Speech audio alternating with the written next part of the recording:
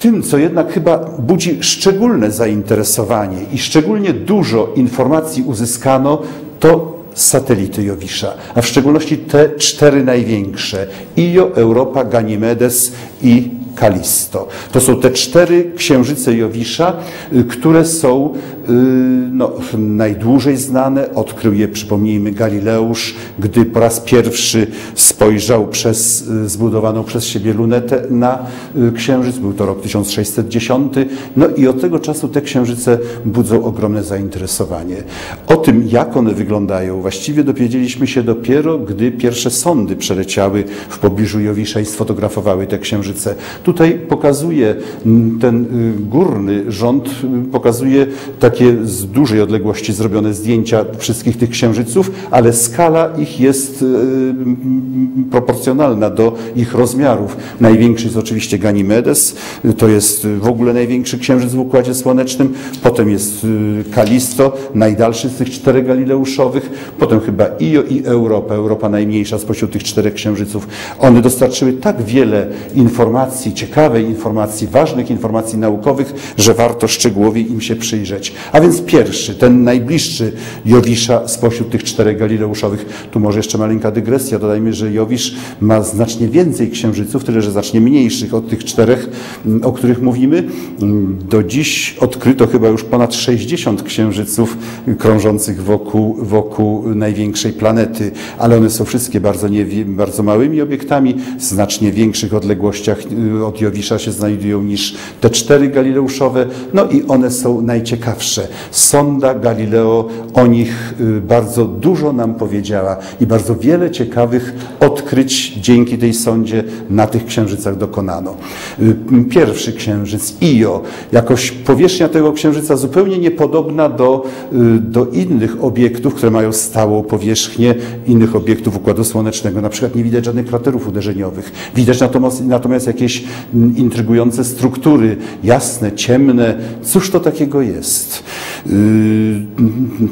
Czasem się mówi, że to jest taka wielka pizza obraz tego księżyca, bo rzeczywiście mm, bardziej przypomina pizzę niż jakikolwiek inny obiekt w Układzie Słonecznym. Ale tu jest zdjęcie tego księżyca Io, no, wykonane z takiej strony, że tylko część jego jest oświetlona przez słońce, druga część nieoświetlona. Panuje tutaj noc, stąd taki, prawda, rogalik tego księżyca.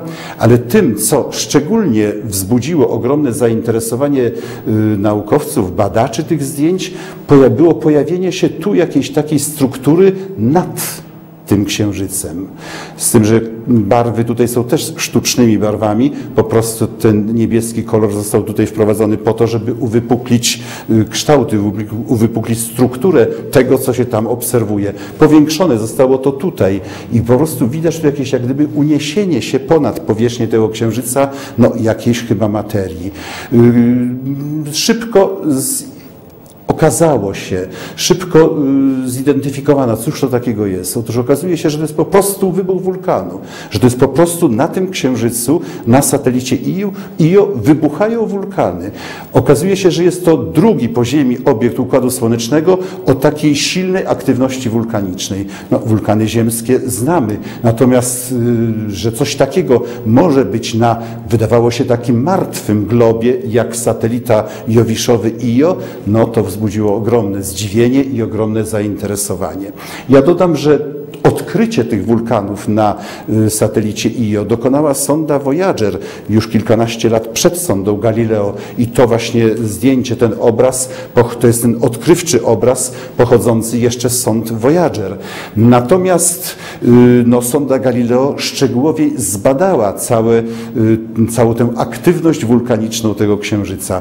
Mm, cóż zbadała? No, przede wszystkim dowiedzieliśmy się bardzo dużo o, mm, o przebiegu tego zjawiska zjawiska, na przykład o temperaturze. Okazało się, że temperatura materii, która unosi się wzwyż ponad powierzchnię tego księżyca jest ogromna, dużo większa niż wulkanów ziemskich. To było wielkie zdumienie. Y, o ile na wulkany ziemskie, zdaje się, maksymalna temperatura to jest 1300, może 1400 kelwinów, o tyle y, temperatura y, wulkanów na powierzchni Io dochodzi do 2000 kelwinów, dużo więcej niż wulkanów ziemskich. Skąd ta energia? To jest wielkie pytanie. Tu jeszcze y, pokażę takie dwa obrazy. Obraz powierzchni powiększonej, fragment powierzchni tego satelity, zdjęcie wykonane y, w roku 1978 bodajże za pomocą sondy Voyager i potem po 17 latach w roku 1995 czy 6 zdjęcie wykonane z pokładu sondy Galileo tego samego fragmentu powierzchni, no, widać ogromną różnicę, która świadczy po prostu o tym, różnicę wyglądu tych fragmentów powierzchni. Świadczy to o tym, że gdzieś tu w tym czasie nastąpił jakiś wybuch wulkanu, materia, która y, wylała się z wnętrza na powierzchnię, no, utworzyła zupełnie inne struktury niż tutaj są widoczne. To jest y, bardzo ciekawe właśnie dlatego, że no, widzimy, że tam teraz na naszych oczach niemal dzieją się właśnie te jakieś niezwykłe y, rzeczy na powierzchni tego księżyca. Mam następne takie porównawcze zdjęcie innego fragmentu powierzchni wykonane z sondy Voyager i sondy Galileo. Tu już bardzo wyraźnie widać, że gdzieś tutaj nastąpił jakiś wybuch wulkanu, bo później ta materia się rozlała po powierzchni, tworząc tutaj jakieś takie struktury, których tam nie widać. To samo chyba można powiedzieć o tej strukturze, która od, zupełnie inaczej wygląda y, po kilkunastu latach na zdjęciu z sondy Galileo niż na zdjęciach z sondy Voyager. Proszę jeszcze zwrócić uwagę na jakość tych zdjęć. Te są znacznie precyzyjniejsze, więcej szczegółów na tych zdjęciach widać. To już odzwierciedla postęp techniki obserwacyjnej czy techniki uzyskiwania takich zdjęć w zaledwie w ciągu 17 lat, które dzielą, y, które dzielą y, czas wykonania tych zdjęć, moment wykonania tych zdjęć.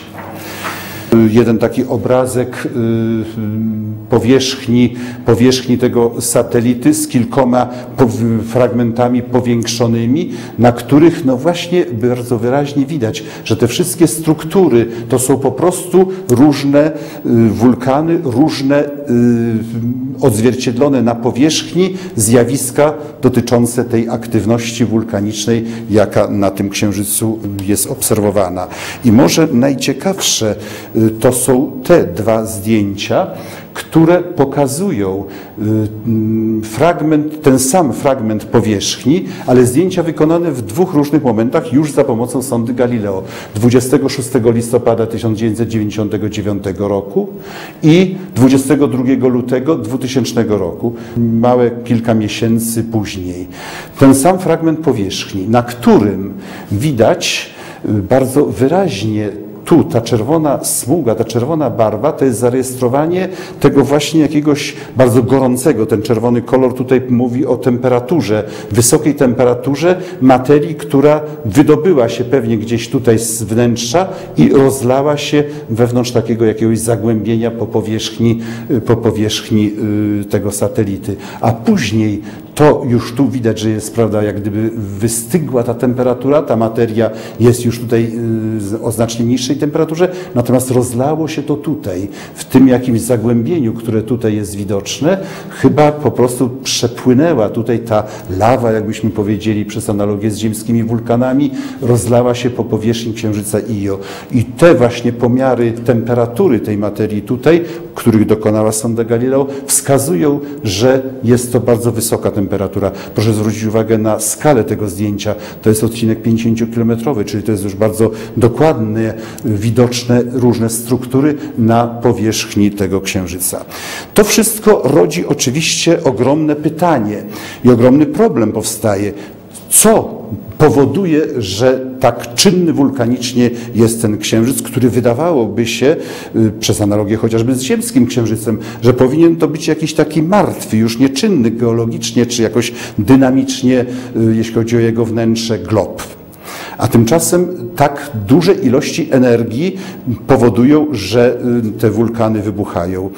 To jest ogromny problem i chyba tak do końca nierozwiązany, aczkolwiek jest bardzo y, wiarygodna, można powiedzieć, hipoteza, co jest przyczyną tego y, grzania wnętrza, czy tej energii, która z wnętrza na powierzchnię się wydostaje w satelicie. Ja tak króciusieńko tylko zasygnalizuję, jaki jest kierunek myślenia, co może być źródłem energii tego księżyca. I okazuje się, że y, najlepiej może to wytłumaczyć zjawisko pływów.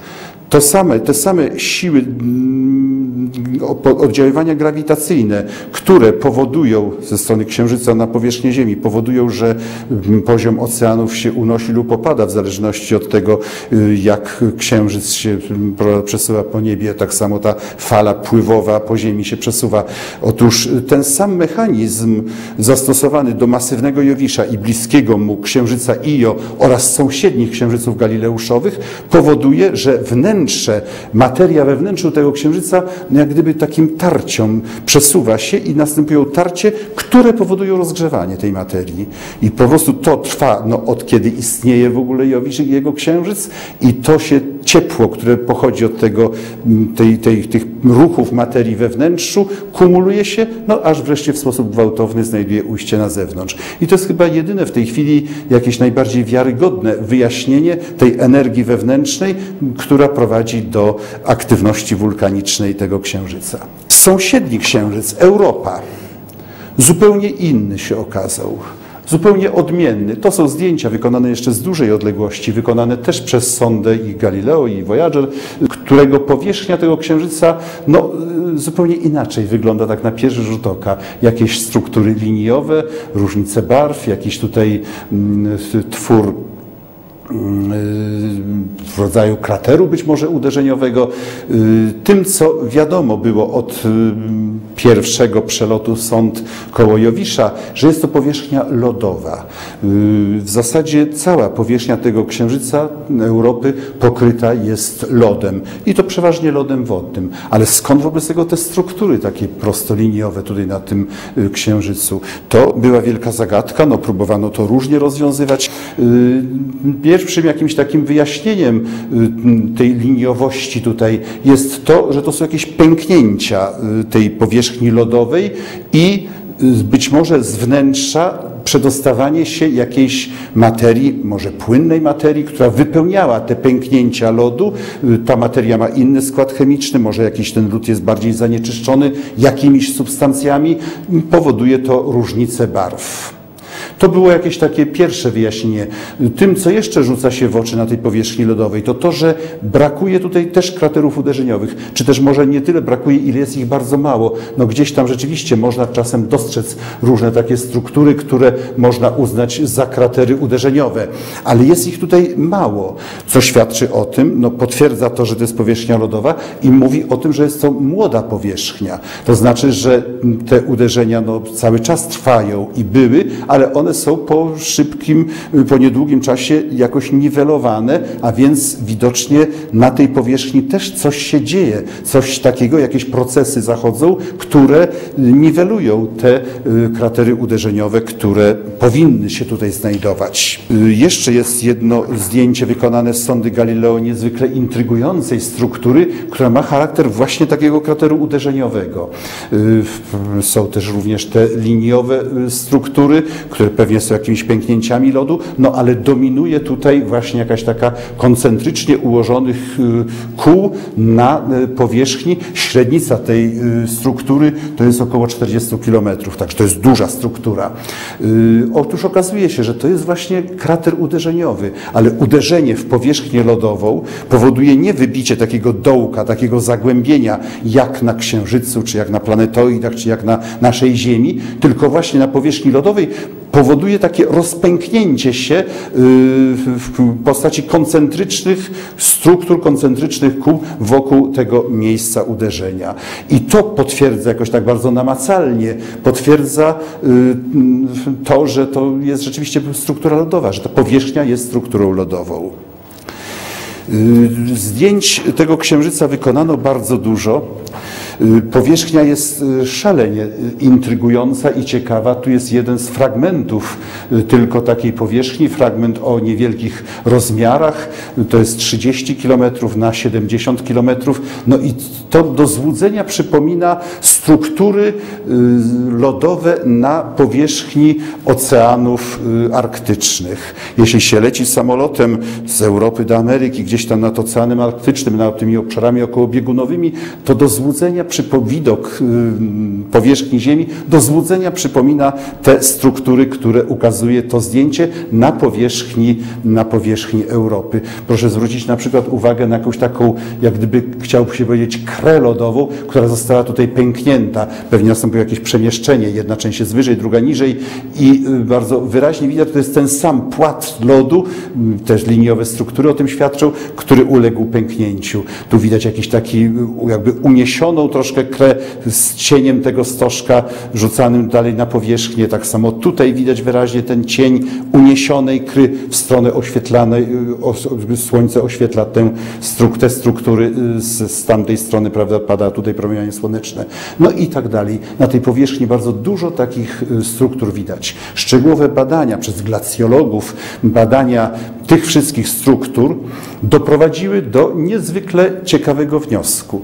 Mianowicie ta powierzchniowa struktura lodowa wydaje się, czy warstwa lodu wydaje się mieć niezbyt dużą grubość. Wydaje się, że jest to y, warstwa lodu na powierzchni o grubości może kilometra, może paru kilometrów, a pod tą warstwą lodu powinien się znajdować ocean płynnej wody, warstwa płynnej wody.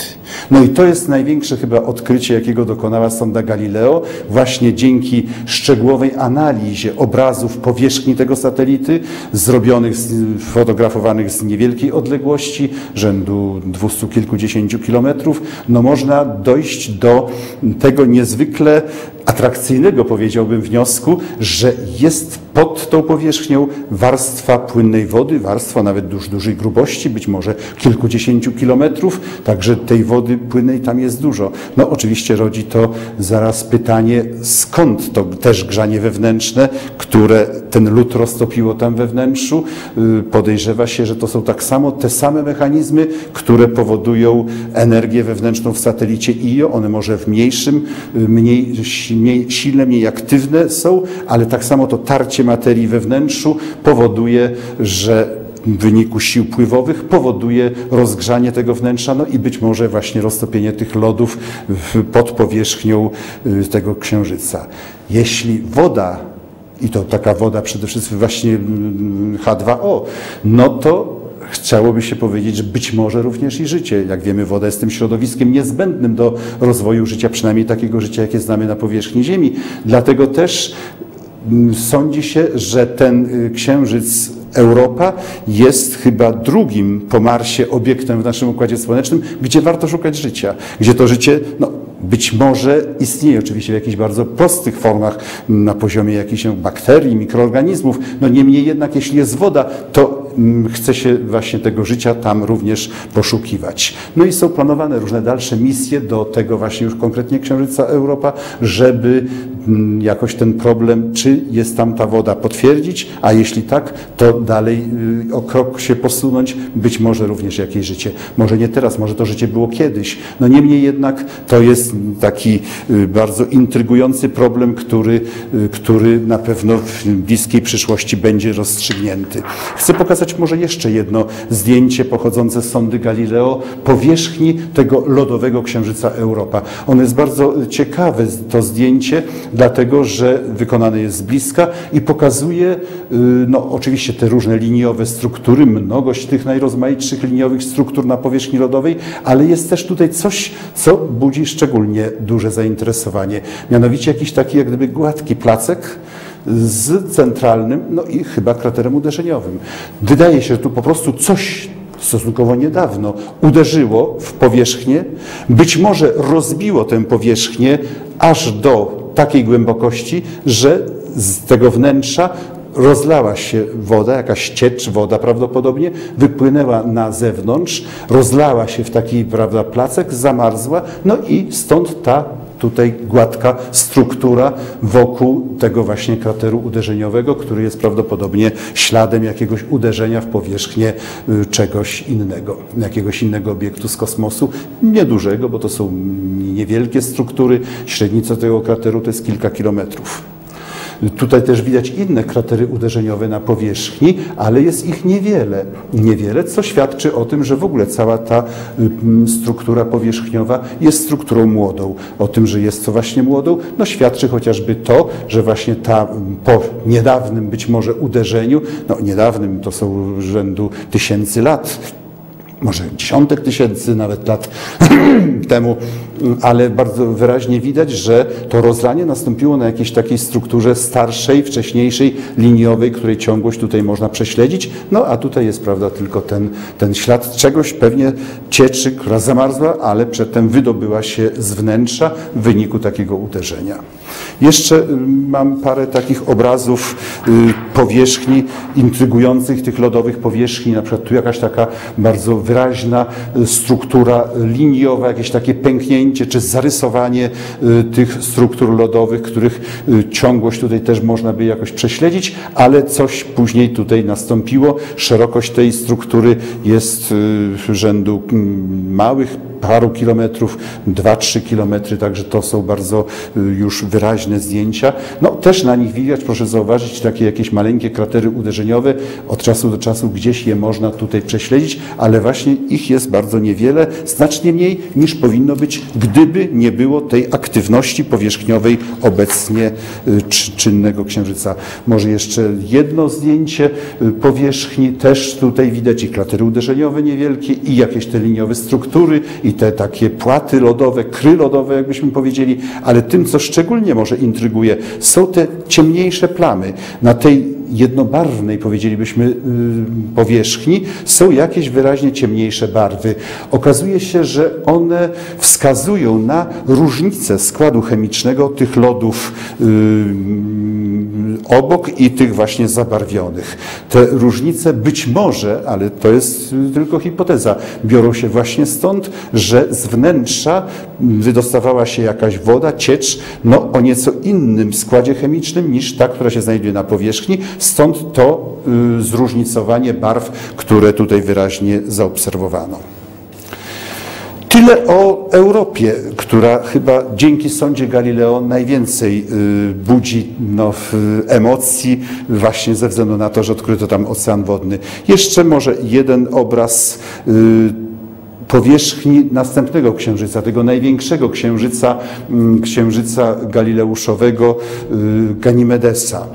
To jest obraz, który został przetworzony komputerowo ze zdjęć powierzchni tego księżyca, które wykonała sonda Galileo, który po prostu obrazuje, pokazuje takie jak gdybyśmy, takie spojrzenie na tę powierzchnię, mm, spojrzenie z niedużej wysokości, takie perspektywiczne. Oczywiście ten horyzont tutaj, no to jest y, autentyczne, ale barwa, nieboskłon nad y, tym księżycem y, jest sztuczny. Oczywiście to nie są te kolory. Ale wyraźnie pokazuje też mm, różne dziwne struktury, przeważnie lodowe struktury na powierzchni tego księżyca, ukazuje też jakieś kratery uderzeniowe, też można to wszystko zobaczyć. Jeszcze tyle o Ganimedesie. No i wreszcie na koniec jeszcze Kalisto, ten ostatni, najdalszy z czterech księżyców galileuszowich Jowisza, którego powierzchnia też jest głównie powierzchnią lodową, ale która jest znacznie starszą powierzchnią, bo jest znacznie więcej kraterów uderzeniowych i na tej powierzchni widać strukturę, która jest no, bardzo ciekawą, taka wielka, koncentryczna struktura liniowa o średnicy, tu się chyba parę tysięcy kilometrów, średnica tej struktury yy, jest. Y, pochodząca być może z jakiegoś bardzo dawnego, czyli wczesnego w historii tego księżyca wydarzenia, jakim było no, zderzenie jakimś dużym obiektem kosmicznym, który na tej dużej części również lodowej powierzchni utworzył taki właśnie zarys koncentrycznych kół, y, który na tej powierzchni lodowej utworzył się w wyniku uderzenia w nią jakiegoś dużego obiektu. Ale już aktywność powierzchniowa tego księżyca jest znacznie, znacznie znacznie y, słabsza i wobec tego te stare struktury, o czym świadczy liczebność kraterów uderzeniowych, y, są tutaj zachowane i są widoczne. Dziękuję.